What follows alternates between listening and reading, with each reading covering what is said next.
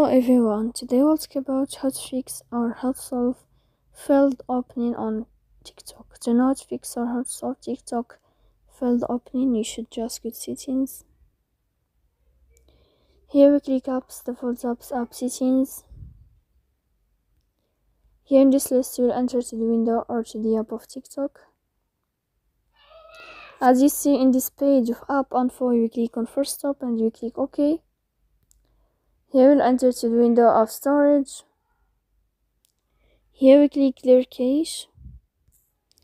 In the end, you can turn off your phone and you can wait a moment to turn on your phone again. If it's not working with you, you can go to Play Store.